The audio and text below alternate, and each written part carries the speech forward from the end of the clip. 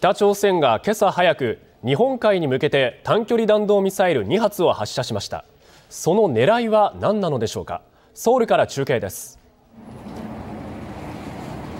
はい。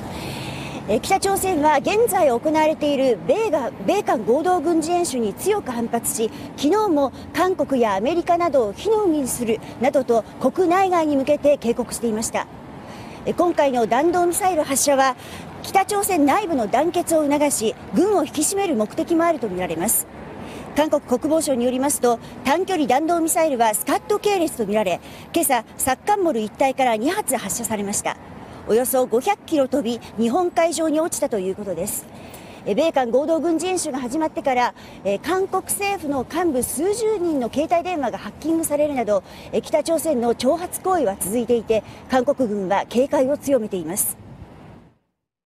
航空機や船舶の安全確保の観点から極めて問題のある行為であり直ちに北朝鮮に対して厳重な抗議を行ったところであります。安倍総理大臣は NSC 国家安全保障会議を開き北朝鮮に強く自制を求めるなど毅然と対応するよう関係閣僚に指示しました。